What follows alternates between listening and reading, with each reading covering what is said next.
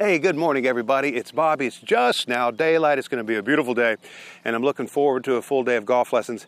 I want to talk about the magic, and it truly is magic for those who are deficient in this particular lesson of the weight shift. And let's let's talk about the weight shift for just a moment and what it is. Well, to get an idea of why the weight shift is so important, exactly what it is, I'm going to put two golf balls here in front of me, and I uh, suggest that you the, perform the same experiment. One's opposite my left foot, the other my right, and I'm going to put my club right in the middle in a way that's more or less ordinary to all of us. Now, here's what I'll do. I'm going to, on a scale of 1 to 10, I'm going to make a golf swing at an effort level of, say, 7. Not all out, just an effort level of 7 on a scale of 1 to 10. I'm going to start this club right in the center, but when I return and hit the ground, I'm going to hit the ground back here by this first ball. Effort level of 7. All right? Observe the results. Here's what I'm going to do second. I'm going to go ahead and start here again, but this time I'm going to bottom out by that front ball. And effort level is 7. There is no doubt in anybody's mind, even a casual observer walking by, that that second one uh, had a great deal more velocity, a lot more speed, even with the same effort level. And I, I suggest you conduct the same exact experiment. And why is that? Well, there's a universal law that says you can't hit anything powerfully that's behind you. And on this second one, first one, excuse me, because the ball was behind me, I had to move back to hit it. You can't hit anything powerfully that's behind you. You need to be, uh, be moving in the direction of the thing you intend to strike if you want to put any pop on it. And so when I was swinging to this front one, I had to shift my weight to do it. That provided the valuable assurance that I would shift my weight. I had to do that to bottom out over here. All right, so there's that. One to nothing in favor of the weight shift because it gives you more velocity.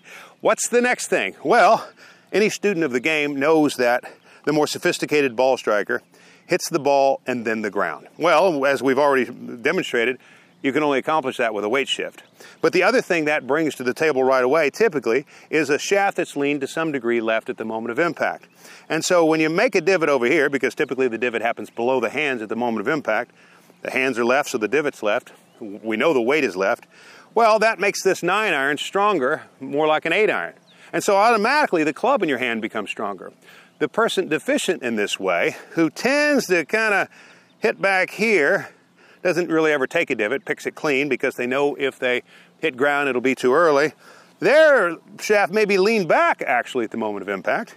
And now instead of a nine iron, that loft is, is moving more toward pitching wedge loft. And so the club actually becomes weaker. And so let me say that again.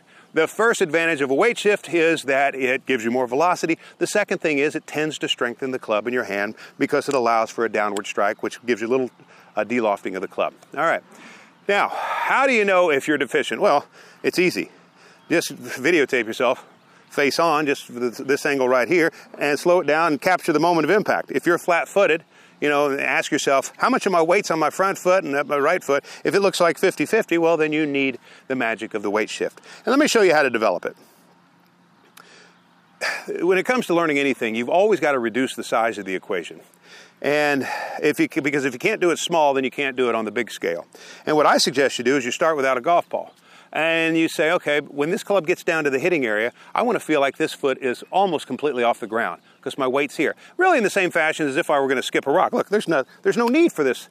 I don't get any benefit by having this thing still on the ground. It can be completely empty. And that's what the back foot does. It doesn't push off, it empties.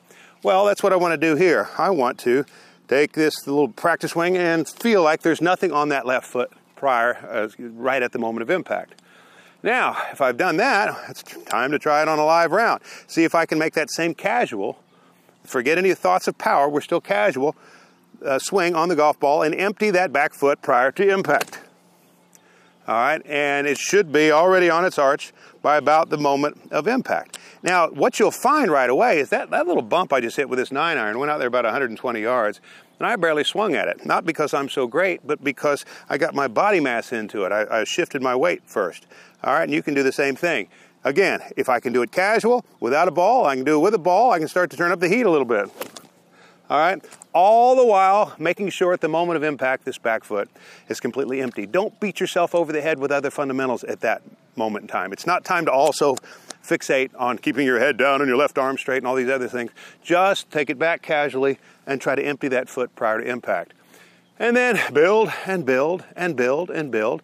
And don't don't try it on 10 shots and then go play around a golf because it'll prove to be just simply ruinous. All right? And so that's what i'll say. First of all you need a weight shift because it's going to give you velocity. It's going to make the club in your hand stronger. And also you need to learn it by starting small and building. And i know that will help you. If i can do anything for you let me know. Thanks for watching